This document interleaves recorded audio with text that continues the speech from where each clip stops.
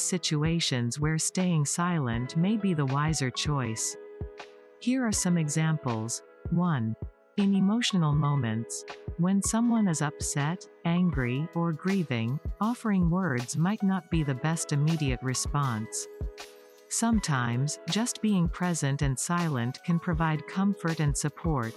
Speaking while angry can lead to saying things you regret. It's better to take a moment to calm down before expressing yourself. Conflicts. In heated arguments or conflicts, speaking impulsively can escalate the situation.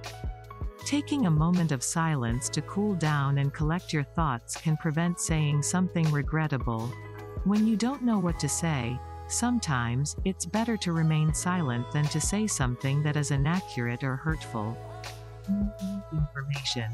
If you're uncertain about a topic or don't have enough information, staying silent is often more prudent than making guesses or spreading potentially inaccurate information. Understand. Instead of formulating responses while someone is talking, it's often better to stay silent and actively listen.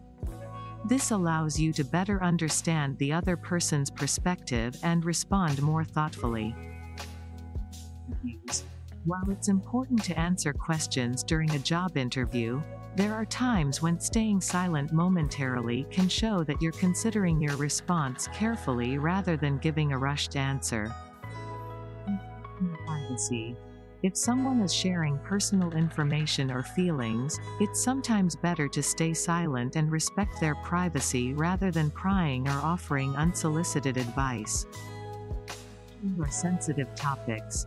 In discussions involving sensitive cultural, religious, or political topics, staying silent may be preferable to avoid unintentionally causing offense or misunderstanding. Responding to a bully with silence can sometimes be more effective than engaging in a verbal confrontation. It denies them the reaction they seek. Feedback.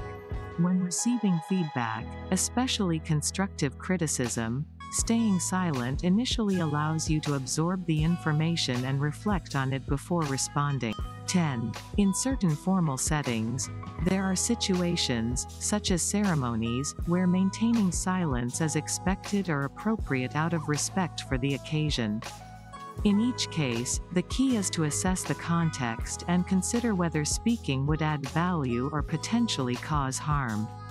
Sometimes, silence is a powerful and thoughtful choice. Like, share, comment, subscribe. Thanks for watching.